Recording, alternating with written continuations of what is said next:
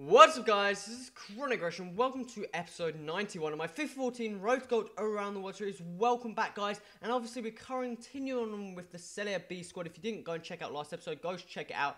Kind of had a surprise victory, didn't do too well in terms of games, fairly tight, tight scoreline and some fairly solid teams, but um, didn't do too bad. The team's working fairly well. Also made a change last episode, changing it to the 3-5-2, which um, feels a lot more stronger at defensively.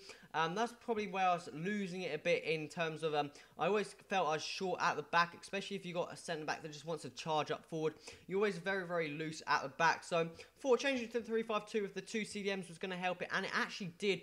But a uh, very, very nice day, and hopefully we can have a very, very nice commentary and episode for you guys. Uh, but uh, EA, you need to go and sort your fucking game out, basically, because the transfer market does not work. Um, it's impossible to find anything it is completely ballsed up.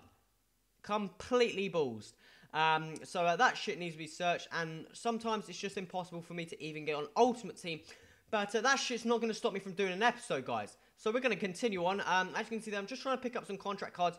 Um, I'm not too sure. I think a couple of players are out of contract, and I stupidly didn't have any saved into my club. So uh, it was taking me some time to eventually find some, to eventually buy them and eventually put them onto my players. And also EA have still got that stupid thing on when you bid for a thing, um, when you end up winning, it takes for about 24 hours, something ridiculous to end up winning the bid and be able to use it as like a consumable or actually use the player in the team or anything. It just seems to stay there in the transfer list or whatever you want to call it. So, EA, you need to get your act together, but um, eventually we end up picking a couple of contract cards up to go and apply it onto, I believe it was two of our centre backs as well as a player further down in the midfield, uh, striker Hernandez. We've also need a fitness card for, I think it was Stefan Haunvich the right mid.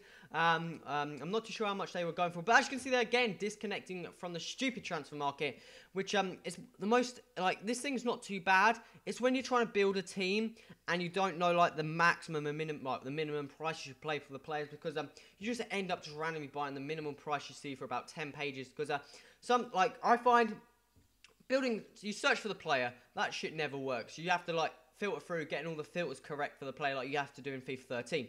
Then, if you go to put a buy now on any card, it just does not come up. You put like a ridiculous 100k buy now for something like Glenn Johnson, it just doesn't come up. But um, we're going to be moving into the games, get that stupid topic off my head. And um, as you can see there, I do end up putting that back of the net, but he brings it back for a penalty, which, um, you know, it was a penalty. Well, you could argue he takes out my legs, I think it is here, where I pass it into the player there.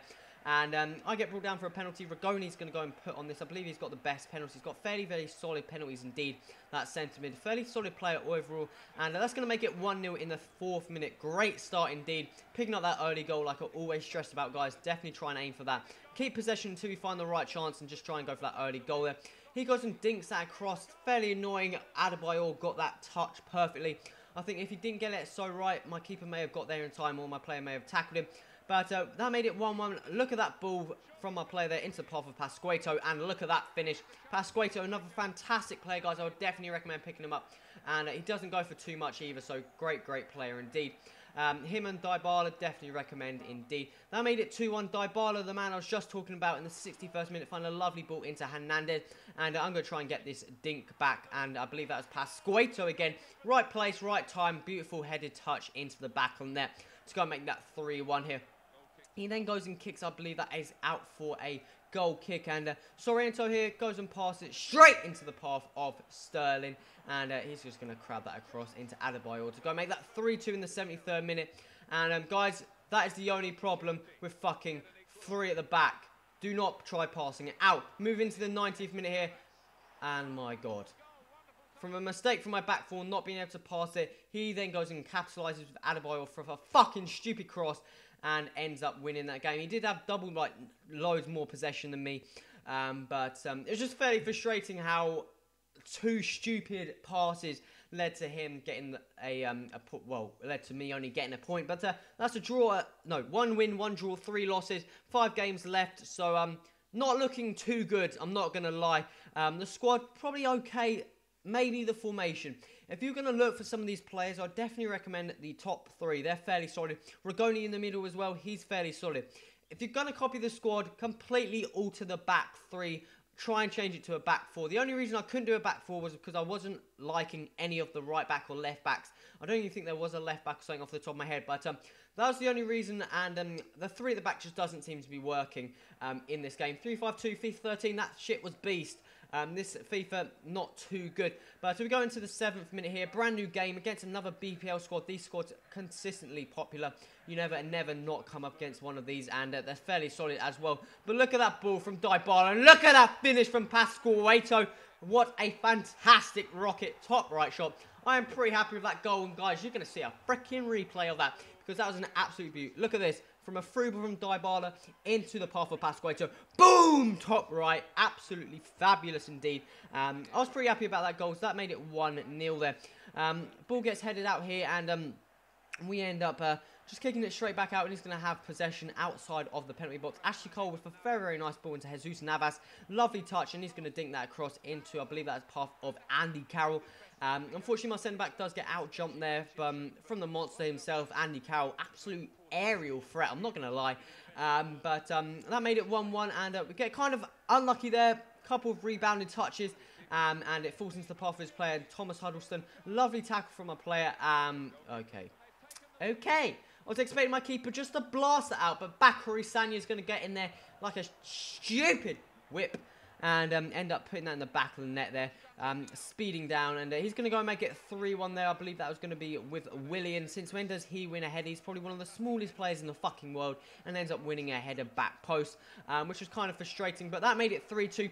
Del Alessandro here gets fairly lucky for somehow that ball stays to his fucking feet. God knows, lovely finish nevertheless to go and make that 3-2 in the 73rd minute, and um, we end up losing it by one goal again. That's going to be five, no, four losses now. So um, only got four points. Not too many sure how many points we actually need.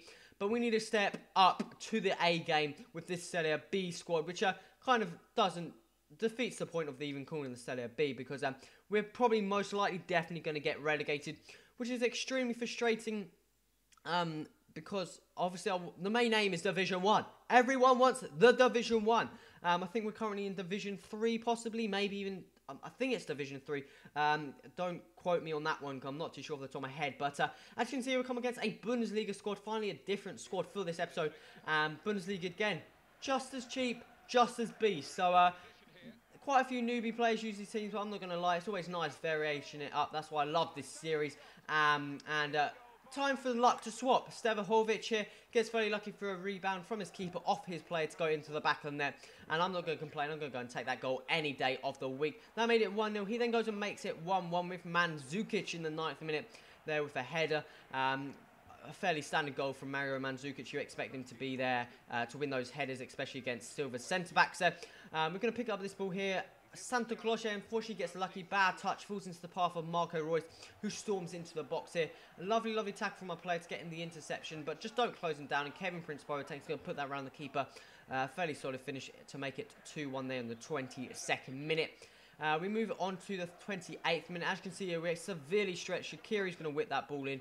I believe Marco Reus is going to win that header there. Again, fairly frustrating to lose a header to Marco Reus. Not the tallest of players, not the most aerial threat of players um, to come up against, but um, ends up beating my silver centre-back there to go and make that 3-1.